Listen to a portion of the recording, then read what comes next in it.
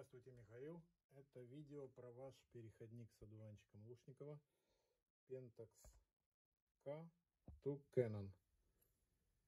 Сейчас я проверю его в моей камере.